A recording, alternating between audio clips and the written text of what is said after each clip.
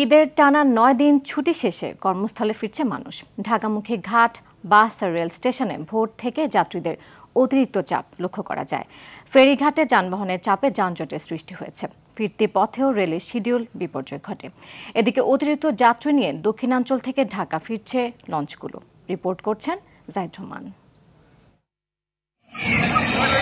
ঈদের টানা ছুটির শেষ দিনে কর্মস্থলে ফিরতে ব্যস্ত মানুষ। যানবাহনের অতিরিক্ত চাপে শিবচরের বাংলাবাজার ঘাট ও পাটুরিয়া দৌলদিয়া ঘাটে যানবাহনের দীর্ঘ সারির তৈরি হয়েছে।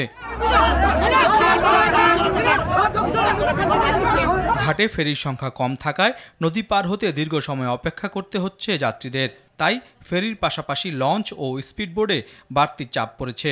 যে গাড়িগুলো পরে আসতেছে শুধু ভিআইপি বললে ঢুকাই দিতেছে। অন্য মানুষ তিন হাজার পঁচিশশো টাকা করে করে সবাই পার হয়ে চলে গেছে। এখন পর্যন্ত আমরা কোনো সিরিয়াল পাই না ভাই। ঠিক আছে আমাদের ছোট ছোট বাচ্চা আছে।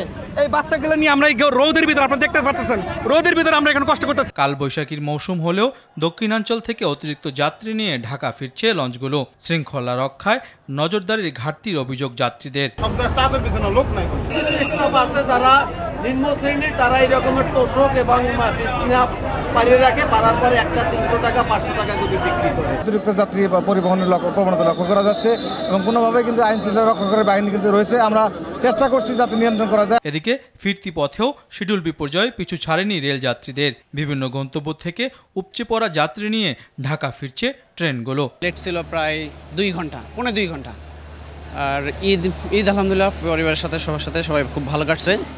তবে আজকে ভোগান্তিটা একটু বেশি হয়েছে লেটের কারণে। যেটা চলছে ওভারলোডেড ছিলাম আমরা।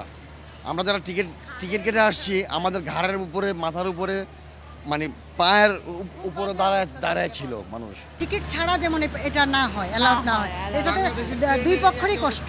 তবে মহাসড়কে এবার ঈদযাত্রা অপেক্ষাকৃত স্বস্তির ছিল। যদিও ব্যাপরা গতি আর ঝুঁকিপূর্ণ যানবাহন অনেকের আনন্দযাত্রাকে সব যাত্রায় পরিণত করে। জাহিদ রহমান আরটিভি ঢাকা